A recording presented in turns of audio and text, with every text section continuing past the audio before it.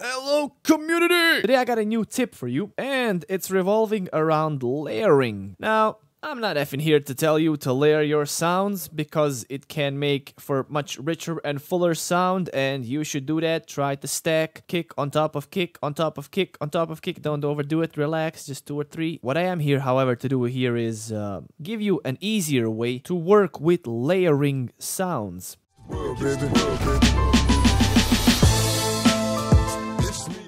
So here's what I have here.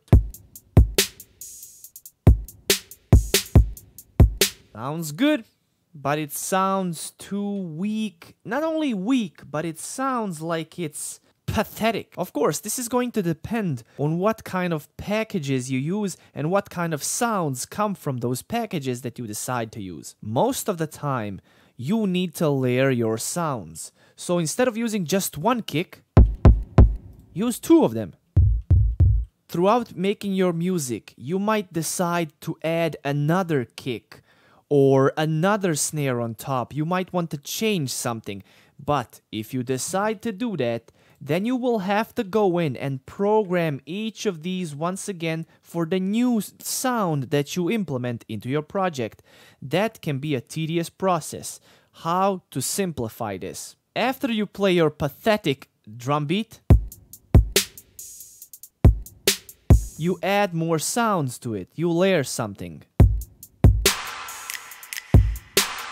Now there's more going on, but if I keep adding more, it's to become tedious to keep programming each one. So what do you do?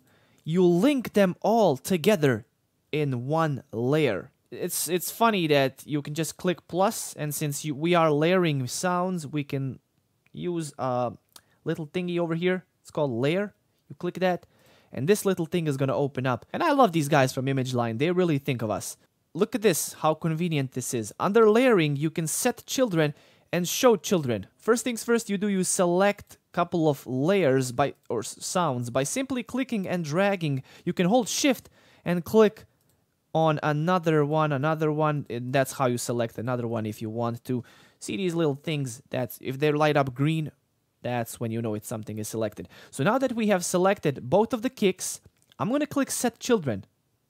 And what this is going to do now, if I select this layer, it plays both of the sounds at the same time. So now instead of me programming each and one of these, I can just program this one. And of course, uh, re rename it. There you go. Rename it. Kick. Put a color. And that's it. Look at that. Every time I, I add a new kick, I'm just going to make sure I link it to this particular layer. So anyhow, you get it. Smart crew. Much love. Now, of course, if there's some separate kick you want to add and you want to program it differently, you don't have to link it. But since you will, will be layering a lot of the sounds, it's going to be super useful to just link all of them. And if you click Show Children, it's going to select both of these automatically. Here's what you can then do if you add another kick. Uh, let's say I add this one. What I can do is click Show Children, hold Shift, and just click again and click Set Children. Now, again, this kick has been added to the link. It's been added to the layer. See? That's how easy it is. Look at that. That's a beauty right there.